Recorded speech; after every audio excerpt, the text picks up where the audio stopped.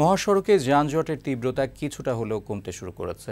গত তিন দিন ধরে বিভিন্ন স্থানে তীব্র যানজট দেখা গেলেও আজ কিছুটা কম দেখা গেছে। তবে ঢাকা টাঙ্গাইল মহাসড়কের গাজীপুরের কোনাবাড়ি থেকে টাঙ্গাইলের ভোগড়া পর্যন্ত প্রায় পনেরো কিলোমিটার যানজটের সৃষ্টি হয়েছে। এছাড়া ঢাকা, চট্টগ্রাম মহাসড়কের মেঘনা সেতু থেকে প্রায় দেড় কিলোমিটার সড়কে রয়েছে যানজট। এদিকে শিমুলিয়া কাঁঠালবাড়ি নৌ রুটের কাঁঠালবাড়ি ঘাটে ফেরি পারাপারের অপেক্ষায় রয়েছে গরু বোঝাই ট্রাক সহ প্রায় সাড়ে তিনশো যানবাহন।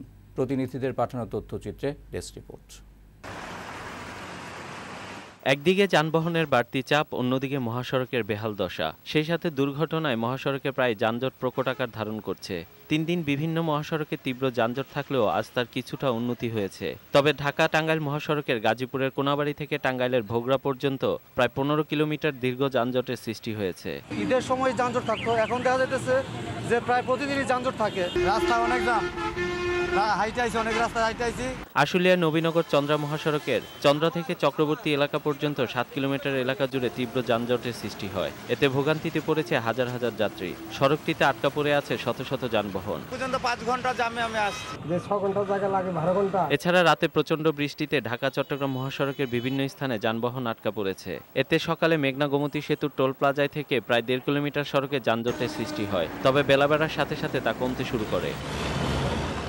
দুদিন আগে ঢাকা, চট্টগ্রাম মহাসড়কের নারায়ণগঞ্জের সোনারগাঁওয়ে মেঘনা টোল প্লাজায় যানজট পরিস্থিতি পরিদর্শনে আসেন সেতুমন্ত্রী ওবায়দুল কাদের। এ সময় চব্বিশ ঘণ্টা কর্মকাণ্ড চালিয়ে হলেও বেহাল সড়কগুলো মেরামত করতে সড়ক বিভাগের প্রকৌশলীদের নির্দেশ দেন তিনি।